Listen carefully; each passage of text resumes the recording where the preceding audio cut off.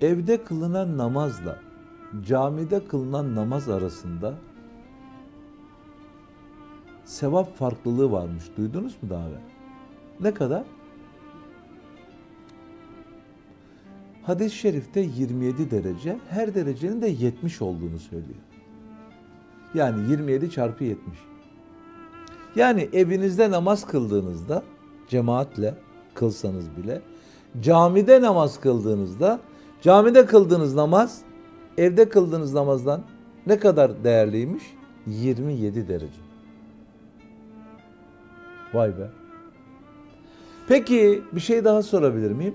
Evde kılınan namazın sayısı, rekati, camide kılınan namazın rekati sayısı değişiyor mu?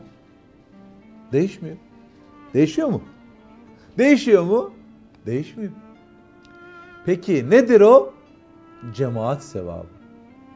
Cemaat sevabı. Cevabı cemaate katılma sevabı. Allah bizim de derecelerimizi aile eylesin. Namazlarımızı bereketlendirsin. Kadın erkek herkes için geçerli. Allah iyiymiş ya. Pekala. Mescidi Aksa'da kılınan namaz Mescidi Aksa'nın dışında kılınan namazlardan bin derece daha kuvvetli. Oo.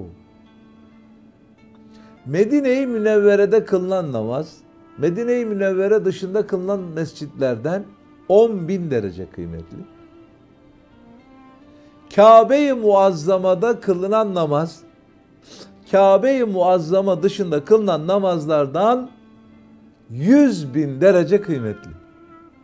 Rekat fazla mı? Değil. Kabe-i Muazzama'ya umre hac niyetiyle yola çıkanlar evlerinden çıktıkları andan evlerine dönünceye kadar Allah'ın misafiridirler. Duaları reddolunmaz. Allahu Teala Celle Celaluhu dualarını kabul eder. İyiymiş. Allah bize de nasip etsin. Amin. Bir anormallik var mı bu anlattıklarımda? Yok. Bunların hepsi sahih hadislere, hadis-i şeriflere bağlı müjdeler. Bir daha söyleyelim mi? Söyleyelim.